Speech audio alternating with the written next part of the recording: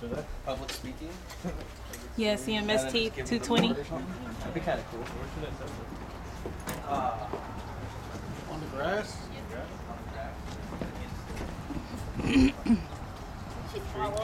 I can set I've, I've, I've got a.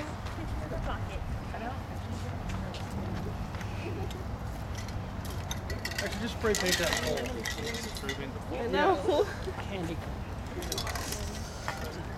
Anybody's name want to be on there? My name's too long. I, I, I would do public speaking.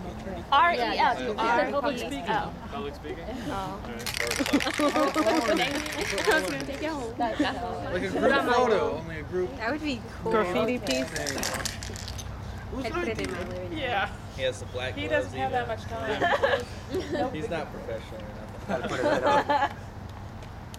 You know, I got you. Alright. I'm going to show you how a skinny cap works. The right. Public speaking. And you want to shake the can a lot. Because this can, this paint tends to clump up a lot. You want to spray it just so that you can see the color coming out now. And with your hand, you want to have a loose wrist. Because you want to be able to just write freely.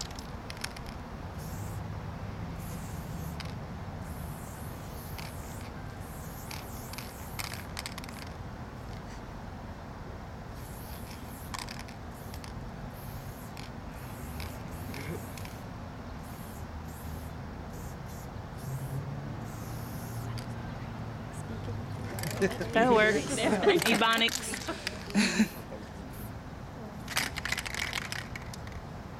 And I hope now that you have a brief idea of what graffiti is and don't get mixed up with the bad stuff and the good stuff.